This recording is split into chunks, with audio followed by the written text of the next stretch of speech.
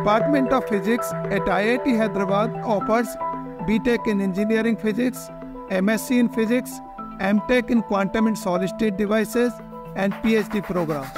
In addition to that, department offers two interdisciplinary programs, MSc in Medical Physics and MTech in Ophthalmic Engineering. We have excellent faculty in five major research areas, condensed matter theory, condensed matter experiment, optics, high energy physics, astrophysics, quantum information and communication. We have a range of research and teaching laboratory equipped with state-of-the-art equipments.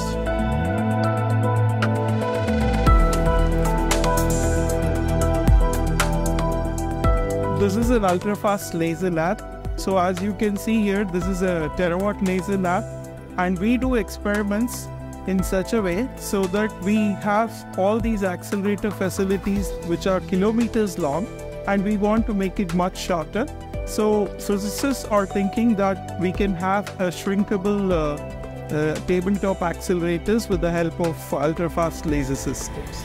Here we have a unique uh, plasma facility chamber wherein we do these uh, tabletop acceleration of ions on this uh, laser plasma system wherein the laser interacts with a target material which is a aluminium foil or a gold foil and then we accelerate energies of the order of uh, GeV for electrons and MeV for protons. So our group focuses on uh, fiber optics and fiber lasers and uh, and smart photonics.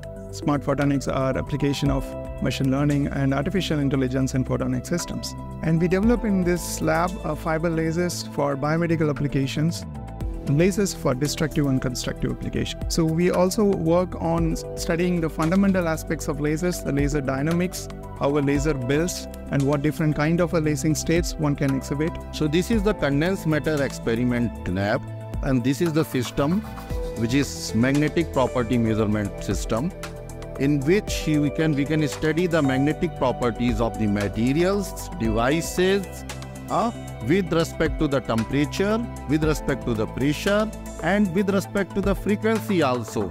So we have here mini HPC, uh, which is developed by us for Department of Physics IIT Hyderabad. It has one master node and eight compute nodes. Eight compute node has in total 384 uh, cores and this facility is being mainly used by the theoretical physics faculties in the department. This uh, this equipment is eye sensitive vibrating sample magnetometer.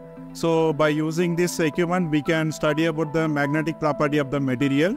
So in the form of thin film bulb, uh, as well as the liquid samples.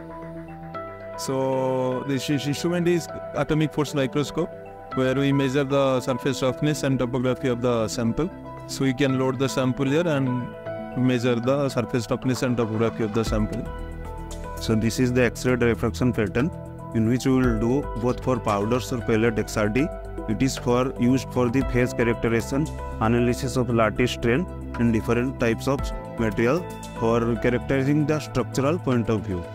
So this is called uh, ferromagnetic resonance spectroscopy and this tool is actually useful to characterize the magnetization dynamics property of any magnetic thin films or nanostructure. So basically we are understanding the magnetization dynamics property as well as the thin film properties by this technique. This is the Brillouin light scattering setup. Here we uh, measure the magnetization dynamics locally using optical method. Here we get microwave response in uh, gigahertz resin up to 500 gigahertz we get and uh, this study is useful in applications such as uh, microwave spintronic devices like filters and uh, oscillators. Department of Physics continues to stride forward with utmost commitment in its path of excellence in research and teaching.